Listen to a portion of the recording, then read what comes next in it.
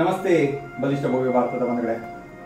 Last week ಅಲ್ಲಿ have taught of you the acupressure points in your palms and as well as in your foot so ಇದ್ರ ಬಗ್ಗೆ ತಿಳ್ಕೊಂಡಿದ್ದೀರಾ? ಅದನ್ನ already practice ಮಾಡ್ತಾ ಇದ್ದೀರಾ ಅಂತಾನು ಅಂದ್ಕೊಂಡಿದ್ದೀನಿ. ಆಮೇಲೆ ಲಾಸ್ಟ್ ಅಲ್ಲಿ ಹೇಳ್ಬೇಕಾದ್ರೆ ನಾನು ನಿಮಗೆ ಗಣೇಶ ಮುದ್ರ ಬಗ್ಗೆ ಹೇಳ್ತೇನೆ.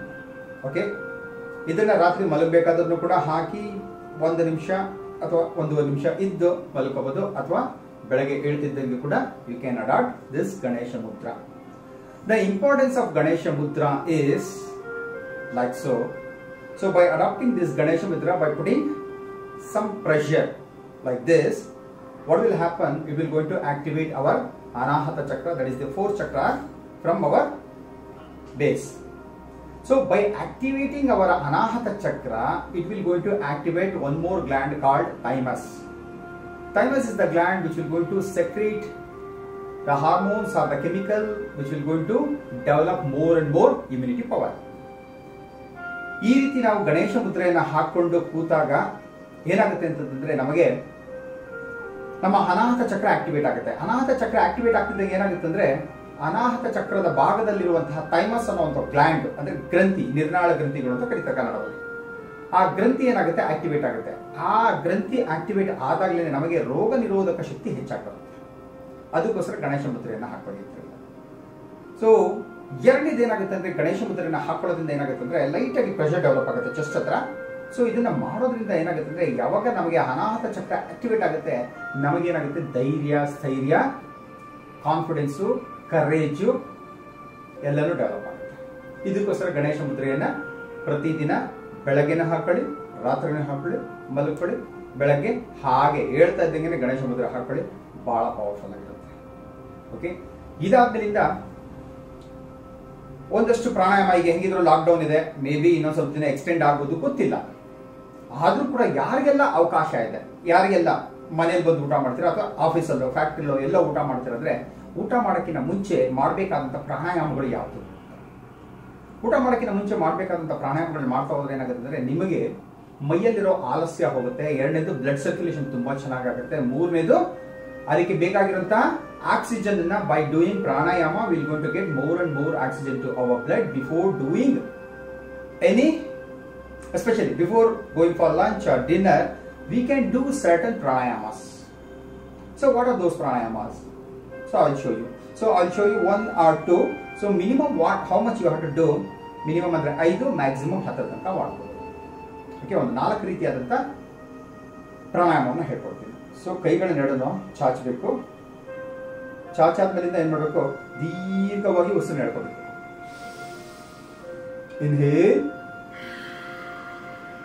exhale inhale exhale exhale you can do it by closing your eyes ನಿಮ್ಮ ಕಣ್ಣುಗಳನ್ನು ಮುಚ್ಚಿ ಕೂಡ ಮಾಡ್ಬೋದು ಇದನ್ನ. ಹೀಗೆ ದೀರ್ಘವಾಗಿ ಇದನ್ನ ಅನುಭವಿಸ್ತಾ ಹೋಗಿ. Experience the breath in breath out by closing your eyes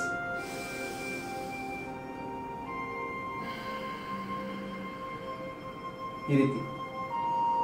forceful ಆಗಿ ಎಕ್ಸೇಲ್ ಮಾಡ್ತಾ ಹೋಗ್ಬೇಕು. ಫೋರ್ಸ್ಫುಲ್ ಆಗಿ ಎಕ್ಸೇಲ್ ಮಾಡಿದ್ರೆ ಏನಾಗುತ್ತೆ ಅಂತಂದ್ರೆ ಸೊ ಬಾಡಿಲಿರೋ ಟಾಕ್ಸಿನ್ಸ್ ಎಲ್ಲ ಆಚೆ ಬರುತ್ತೆ. ಬಾಡಿಲಿರೋ ಟಾಕ್ಸಿನ್ಸ್ ಎಲ್ಲ ಆಚೆ ಬಂದಾಗ ನಾವು ತಗೊಳ್ಳೋಂಥ ಫುಡ್ ಏನಿರ್ತೀವಲ್ಲ food ಏನಿರುತ್ತಲ್ಲ that will be very pure ಆಗಿರುತ್ತೆ. ಅದಕ್ಕೆ ಟಾಕ್ಸಿನ್ಸ್ ಬೇಗ ಇಮಿಡಿಯೇಟ್ಲಿ ಅಟ್ಯಾಕ್ ಆಗೋದಿಲ್ಲ. Because already we have expect toxins from our body this is one so second ಏನ್ ಮಾಡ್ಬೋದು ಅಂದ್ರೆ ಕೈಗಳು ಇಡೋದು ಹೀಗಿರುತ್ತೆ. ಹೀಗಿರುವಂತ ಕೈಗಳಿಂದ ನೋಡೋದು slowly you can inhale exhale either you can exhale through your mouth also inhaling ಮಾತ್ರ it has to be only through nose ಮೂಗಿನ ಮೂಲಕ ಮಾತ್ರ ಉಸಿರು ಹೇಳ್ಕೋಬೇಕು ಬಾಯಿಂದ ಬೇಕಾದ್ರೆ ಉಸಿರು ಬಿಡ್ಬೋದು. ನಾನು ಯಾವ ತರ ಬಿಡ್ತಾ ಇದ್ದೀನಿ ಅಂತ ಅಬ್ಸರ್ವ್ ಮಾಡ್ಬೇಕು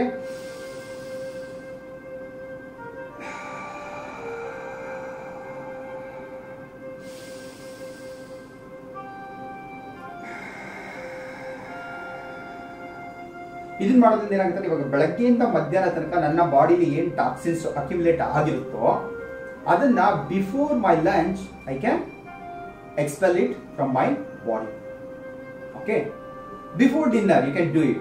by that what you will going to do you will going to expel all your toxins from your body and then whatever the food you will going to consume that will be very pure that will not get affected by any of the toxins. This is two.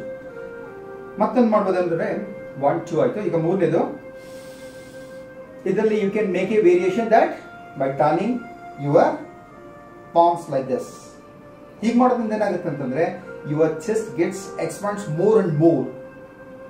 the more and more that your chest expands, the more and more oxygen intake happens.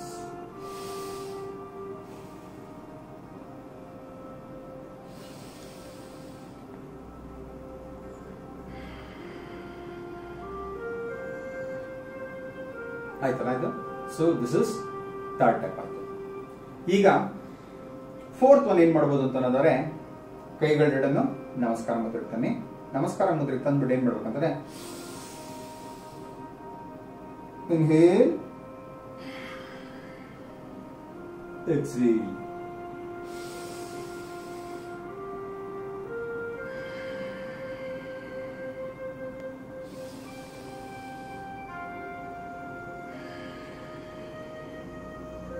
the four types. ಈ four types ಮಾಡಿಬಿಟ್ಟು then you can have your lunch or dinner immediately. You can do it before breakfast also ಆಯ್ತಲ್ಲ? ಈಗ ಬಹಳ ಜನ ಹೇಳ್ತಾ ಇರ್ತಾರೆ, ಕಪಾಲಭಾತಿ ಕಪಾಲಭಾತಿ ಕಪಾಲಭಾತಿ.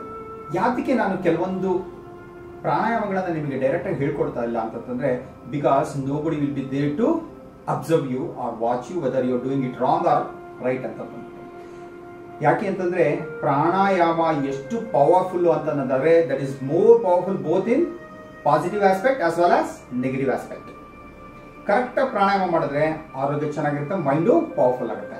ನೀವೇನಾದರೂ ಪ್ರಾಣಾಯಾಮ ಮಾಡ್ಬೇಕಾದ್ರೆ ಹೆಚ್ಚು ಕಮ್ಮಿ ಆಯ್ತು ಅಂತಂದ್ರೆ ನೀವು ಎಷ್ಟು ಅಡ್ವಾಂಟೇಜ್ ಬರುತ್ತೆ ಅನ್ಕೊಂಡಿರ್ತಲ್ಲ ಅಷ್ಟು ಡಿಸ್ಅಡ್ವಾಂಟೇಜ್ ಆಗುತ್ತೆ that will going to end you in some danger ಅದಕ್ಕೋಸ್ಕರ ಏನ್ ಮಾಡ್ತಾ ಇರ್ತೀನಿ ನಾನು, ಜನಗಳಿಗೆ ಸಾಮಾನ್ಯವಾಗಿ ಕಾಮನ್ ಪೀಪಲ್ಗೆ ಅರ್ಥ ಆಗಲಿ ಅನ್ನೋದಕ್ಕೋಸ್ಕರ ಮಾಡ್ತಾರೆ I modify the pranayamas in different ways ಈಗ ನಾನು ಏನು ಹೇಳ್ಕೊಟ್ಟಲ್ಲ? So all the asanas you can do it by sitting down okay chair ಇದ್ರೆ ಚೇರ್ ಮೇಲೆ ಕೂತ್ಕೊಂಡು, ಆರಾಮಾಗಿ ಕೂತ್ಕೊಂಡೆ ಮಾಡಬಹುದು ಇಲ್ಲ, ನಿಂತ್ಕೊಂಡು ಮಾಡ್ತೀನಿ ವೆಲ್ ಅಂಡ್ ಗುಡ್ ಈಗ ಎಲ್ಲರೂ ಹೇಳ್ತಾ ಇರ್ತಾರೆ, kapalbhati is very powerful kapalbhati is very powerful ಅಂತ ಅಂದ್ಬಿಟ್ಟು ಕಪಾಲಭಾತಿಯಿಂದಲೇ ಅದಕ್ಕೆ ಸ್ವಲ್ಪ ಮಾಡಿಫಿಕೇಶನ್ ಮಾಡಿ ಮಾಡಿ ಮಾಡಿ ಮಾಡಿ ಎಷ್ಟು ಗುರುಗಳು ಏನ್ ಮಾಡ್ಬಿಟ್ಟಿದ್ದಾರೆ ಕಪಾಲಭಾತಿನೇ ಅವರ ಟ್ರೇಡ್ ಮಾರ್ಕ್ ಮಾಡ್ಕೊಂಡಿದ್ದಾರೆ the secret of many gurus is start from the kapalbhati.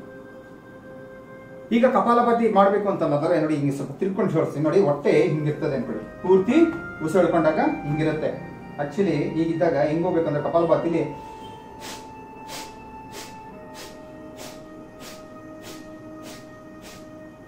ಇದನ್ನ ಮಾಡೋ ಖಂಡಿತವಲ್ಲೂ ಎಲ್ರಿಗೂ ಕಷ್ಟ ಆಗುತ್ತೆ. ಈ ರೀತಿ ನಾನು ಡೈರೆಕ್ಟ್ ಆಗಿ ಹೇಳ್ಕೊಟ್ಬಿಟ್ರೆ ನಿಮಗೆ. ಮಾಡೋದು ಬಹಳ ಕಷ್ಟ ಆಗುತ್ತೆ. ಏನಂತಂದ್ರೆ we have to focus more on exhalation ಉಸಿರನ್ನ ಬಿಡೋದ್ರ ಕಡೆಗೆ ನಮಗೆ ಗಮನ ಜಾಸ್ತಿ ಇರಬೇಕು. ಉಸಿರು ಬರುವಂತದ್ದು, ಒಳಗೆ ಬರುವಂಥದ್ದು inhalation happens on its own we need not to worry about inhalation we have to focus only on exhalation so ಹೀಗಿದ್ದಾಗ ನೀವೆಲ್ಲ ಪ್ರಾಕ್ಟೀಸ್ ಮಾಡೋಕೆ ಎಡವಟ್ಟಾಗುತ್ತೆ. ಅವತ್ತಿನ ದಿನ ಹೊಟ್ಟೆ ಸ್ವಲ್ಪ ಹೆಚ್ಚು ಕಮ್ಮಿ ಆಗುತ್ತೆ ತಿಂದು ಜೀರ್ಣ ಆಗಲ್ಲ ಏನೇನಾಗುತ್ತೆ ಅದಕ್ಕೋಸ್ಕರ ನಾನೇನು ಮಾಡಿದ್ದೇನೆ ಅಂದರೆ I have find out some other methods ಅದನ್ನ ಆಲ್ರೆಡಿ ನನ್ನ ಸ್ಟೂಡೆಂಟ್ಸ್ಗಳಿಗೆಲ್ಲ ಹೇಳ್ಕೊಡ್ತೇನೆ, ಬಹಳಷ್ಟು ಹೇಗೆ ಮಾಡ್ಬೋದು? How you can practise it ಅಂತಂದರೆ imagine that there is a candle candle is in front of you ಕ್ಯಾಂಡಲ್ನ ಊದ್ಬೇಕಾದ್ರೆ ಏನ್ ಮಾಡ್ಬೇಕು? ಮಾಡ್ತೀರಾ? ಆ ತರ ಪ್ರಾಕ್ಟೀಸ್ ಮಾಡ್ತಾರೆ. ಹೆಂಗೆ ಅಂತಂದ್ರೆ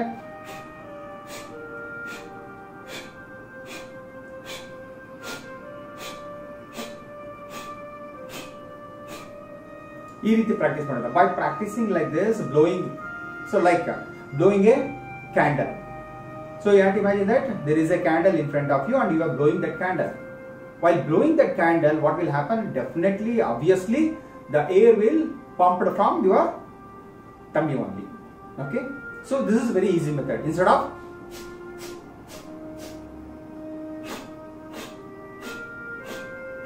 this is easy method. So you have to practice this. And I'll teach you one more pranayama. So I call it as warrior pranayama. Warrior pranayama. So ಈ ವಾರಿಯರ್ ಪ್ರಾಣಾಯಾಮ ಮಾಡೋದ್ರಿಂದ ಏನಾಗುತ್ತೆ ಅಂದ್ರೆ ಲಂಗ್ಸ್ ಇಂದ ಮ್ಯಾಕ್ಸಿಮ್ ಟು ಮ್ಯಾಕ್ಸಿಮಮ್ ಏನೇ toxins ಇದ್ರೂ ಕೂಡ ಬಂದ್ಬಿಡುತ್ತೆ. ಆದ್ರೆ ಹೆಂಗ್ ಮಾಡ್ಬೋದು? ಕೂತ್ಕೊಂಡಾದ್ರೂ ಮಾಡ್ಬೋದು ಅಥವಾ ನಿಂತ್ಕೊಂಡಾದ್ರೂ ಮಾಡ್ಬೋದು. ಓಕೆ ನಾನು ಕೂತ್ಕೊಂಡೆ ತೋರಿಸ್ಕೊಡ್ತೀನಿ ನಿಮಗೆ. ಏನ್ ಮಾಡ್ಬೋದು? Imagine that there are two dumbbells ಅಥವಾ ಗದೆ ಅಂತ ಕರಿತೀವಿ. ನಮ್ಮ ಗರಡಿ ಮನೆಯಲ್ಲ ಗದೆ ಅಂತ ಕರೀತಾರೆ. ಇಂಗ್ಲಿಷ್ ಅಲ್ಲಿ ಅಂದ್ರೆ ಮೇಸ್ ಅಂತ ಕರೀತಾರೆ ಅದನ್ನ. Imagine that you have two mace ಎರಡು ಕೈಯಲ್ಲಿ ಇಟ್ಕೊಂಡಿದ್ದಾರೆ. ಏನ್ ಮಾಡ್ಬೇಕು ಇದರಲ್ಲಿ?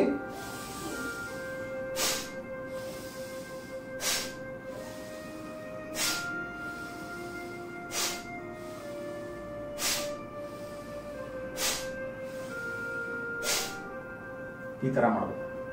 ಓಕೆ ಇದನ್ನು ಯಾವ ರೀತಿ ಮಾಡ್ಬೋದು ಅಂತಂತಂದ್ರೆ both the sides ten ten ಇದೆಷ್ಟಾಯ್ತು? One two ಆಯ್ತು. ಈ ತರ ಟೆನ್ ಟೆನ್ ಅಂತಂದ್ರೆ ಟ್ವೆಂಟಿ ಆಗುತ್ತೆ. ಮಾಡಿಬಿಟ್ಟು you can relax by adapting prana mudra. Then go for second okay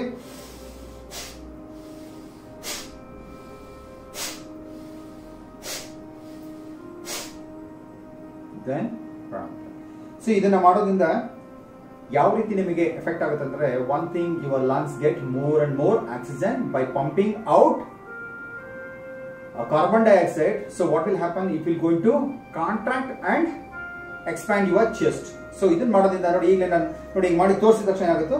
ನನ್ನ ಚೆಸ್ಟ್ ಪಂಪ್ ಅಪ್ ಆಯ್ತು. ಸೊ ಅದೇ ಥರ ಏನಾಗುತ್ತೆ ಅಂದ್ರೆ you will get a better structure in your chest region chest ಅಲ್ಲಿ ಒಳ್ಳೇದು ಬರುತ್ತೆ. ಮತ್ತೇನಾಗುತ್ತೆ ಅಂದ್ರೆ ನಿಮ್ಮ biceps triceps and deltoids we called ಅಂತ ಇದನ್ನ ಕರಿತೀವಿ. ಸೊ ಈ ಡೆಲ್ಟಾಡ್ಸ್ ಅಷ್ಟಕ್ಕೂ ಕೂಡ it gives a very good exercise ತುಂಬಾ ಒಳ್ಳೆ ಎಕ್ಸಸೈಸ್ ಇದನ್ನ ಕೊಡ್ತಾ ಹೋಗುತ್ತೆ. ಸೊ ಇದನ್ನ ತ್ರೀ ಟೈಮ್ಸ್ ಮಾಡಲೇಬೇಕು. ಡೈಲಿ ಮಾಡಿ ಮಾಡೋದ್ರಿಂದ ಏನಾಗುತ್ತೆ ಅಂತಂದ್ರೆ you will get more immunity power ಇದಾದ್ಮೇಲೆ ಡಯಟ್ಗೆ ಅಂತ ಬಂದಾಗ. So why people always prefer to have the lime ಅಥವಾ ಲೆಮನ್ ಅಂತ why always prefer you take more and more vitamin C so vitamin C ನ ಜಾಸ್ತಿ ನಾವು ತಗೊಂಡಷ್ಟು ಏನಾಗುತ್ತೆ ಅಂದ್ರೆ ನಮಗೆ ಇಮ್ಯುನಿಟಿ ಪವರ್ ಡೆವಲಪ್ ಆಗ್ತಾ ಹೋಗುತ್ತೆ. ಹೆಂಗೆ ಅಂತಂದ್ರೆ vitamin C how it acts ಅಂತಂದ್ರೆ so first the major quality of vitamin C is reducing our acidity in our body acidity ಅಂತಂದ್ರೆ ನಮಗೆ ಇದಿರುತ್ತಲ್ಲ, ಏನೋ ಅಸಿಡಿಕ್ ಅಂದ್ರೆ, ಕನ್ನಡದಲ್ಲಿ ಏನ್ ಆಮ್ಲೀಯತೆ ಅಂತ ಇವತ್ತು ಕನ್ನಡದಲ್ಲಿ ಅದನ್ನ ಆಮ್ಲೀಯತೆ. ಆಮ್ಲೀಯತೆ ಅಂದ್ರೆ ಅಸಿಡಿಟಿ ಎಲ್ಲರಿಗೂ ಗೊತ್ತಿರೋಂಥದ್ದು ಇವತ್ತಿನ ದಿನಕ್ಕೆ. ಸೊ ಈ ಅಸಿಡಿಟಿ ಗ್ಯಾಸ್ ಇಟ್ಟಬಲ್ಲು ಅದೆಲ್ಲ ಏನ್ ಬರುತ್ತಲ್ಲ? ಸೊ ಇದೆಲ್ಲ ಎಲ್ಲಿಂದ ಬರುತ್ತೆ ಅಂತಂದ್ರೆ ನಾವು ಸರಿಯಾದ ಆಹಾರ ಪದಾರ್ಥ ತಗೊಳ್ಳದೇ ಇದ್ರೆ, ಎರಡನೇದು ಸರಿಯಾದ ಟೈಮ್ ಅಲ್ಲಿ ಊಟ ಉಪಚಾರಗಳನ್ನ ಮಾಡ್ತಾ ಇದ್ರೆ, ಮೂರನೇದು ಹೆಚ್ಚಾಗಿ ಸಾಂಬಾರ್ ಪದಾರ್ಥ, ಮಸಾಲ ಪದಾರ್ಥನ ತಗೊಳ್ಳೋದ್ರಿಂದ ಏನಾಗ್ಬಿಡುತ್ತೆ ಅಂತಂದ್ರೆ ಅದು ನಮ್ಮ ಇಂಟೆಸ್ಟೈನ್ ಇರುವಂತ ಎಪಿಥೀಲಿಯಲ್ ಸೆಲ್ಸ್ ಏನಿರುತ್ತಲ್ಲ ಸೊ ಅದನ್ನೆಲ್ಲನೂ ಡೆಸ್ಟ್ರಾಯ್ ಮಾಡ್ಬಿಟ್ಟು ಏನಾಗುತ್ತೆ ನಮಗೆ? ಅಸಿಡಿಟಿ ಬರೋಕ್ಕೆ ಶುರು ಆಗುತ್ತೆ ಅಸಿಡಿಟಿ ಜಾಸ್ತಿ ಆದಾಗ ಏನಾಗುತ್ತೆ ನಮಗೆ ಇಮ್ಯುನಿಟಿ ಪವರ್ ಡೌನ್ ಆಗ್ಬಿಡುತ್ತೆ. ಇಮ್ಯುನಿಟಿ ಪವರ್ ನಮ್ಗೆ ಯಾವಾಗ ಡೌನ್ ಆಗುತ್ತೋ definitely we are very much prone to get the diseases ಅರ್ಥ ಆಗಲ್ಲ ಅದಕ್ಕೋಸ್ಕರ ಏನ್ ಮಾಡ್ಬೇಕು ಅಂತಂದ್ರೆ ಹೆಚ್ಚಾಗಿ ಆಮ್ಲೀಯತೆ, ಅಂದ್ರೆ acidic body body to alkaline body ಮಾಡ್ಕೋಬೇಕು ಅಂತ ಹೇಳ್ತಾರೆ. ಸೊ ನಾವೇನ್ ಪ್ರಾಕ್ಟೀಸ್ ಮಾಡ್ತೇನೆ ನಮ್ಮ ಮನೆಯಲ್ಲಿ ನನ್ನ ರಿಲೇಟಿವ್ಸ್ಗೆ ಅಂದ್ರೆ ನನಗೆ ಯಾರಾಗಿದ್ರೆ ಅವಾಗೆಲ್ಲ ಏನ್ ಹೇಳಿದ್ದೀನಿ ಅಂತಂದ್ರೆ ಊಟದಲ್ಲಿ, ಉಪಚಾರದಲ್ಲಿ ಯಾವಾಗ ಬೇಕಾದ್ರೂ ಊಟಕ್ಕೆ ಒಂದ್ ನಿಮ್ಮಡಿ ಇಟ್ಕೊಂಡ್ರೆ ಒಂದ್ ಸ್ವಲ್ಪ ಹಿಂಡ್ಕೋಬಹುದು ಮಾಡ್ಕೋಬಹುದು ಅದರಿಂದ ಆಗುತ್ತೆ ಎರಡನೇದು, ಪ್ರತಿದಿನ ನಾವೇನ್ ಮಾಡ್ತಾ ಇದೀವಿ ಅಂತಂದ್ರೆ every day night we are taking ಅಂದ್ರೆ ಬಿಸಿ ನೀರನ್ನ ಚೆನ್ನಾಗಿ ನೀರನ್ನ ಕುದಿಸಿ ಬಿಸಿನೀರು ಮಾಡ್ಕೊಂಡು ಅದಕ್ಕೆ ಏನ್ ಮಾಡ್ತಾ ಇದೀವಿ? ಒಂದು ನಿಂಬೆ ಹಣ್ಣನ್ನ ಹಿಂಡ್ಕೊಂಡು ಅದಕ್ಕೆ ಸ್ವಲ್ಪ ಜೇನುತುಪ್ಪ ಇಲ್ಲ ಸಕ್ಕರೆ ಇಲ್ಲ ಅಂತ ಹೇಳಿದ್ರೆ ಟೇಸ್ಟ್ ಬೇಕು ಅಂತ ಹಾಕ್ತಾರೆ ಸ್ವಲ್ಪ ಬೆಲ್ಲ ಇಷ್ಟನ್ನು ಹಾಕೊಂಡು ಅದ್ರ ಜೊತೆಗೆ ಒಂದು ಚಿಟಿಕೆಯಷ್ಟು ಸೋಡಾ ಹಾಕ್ತಾ ಇದ್ವಿ. ಸೋಡಾ ಹಾಕ್ಬಿಟ್ಟು ಒಂದು ಚಿಟಿಕೆಯಷ್ಟು ಅರಿಶಿನ ಹಾಕ್ತಾ ಅರಿಶಿನ ಹಾಕ್ಬಿಟ್ಟು ಕಲಿಸ್ಬಿಟ್ಟು ನಾವು ಒಂದು ನಿಂಬೆ ಹಣ್ಣನ್ನು ಮಾಡಿ ಮಾಡ್ಕೊಂಡು ನಮ್ಮ ಮನೇಲಿ ಐದು ಜನ ಒಟ್ಟಿಗೆ ತಗೊಳ್ತಾ ಇದ್ವಿ.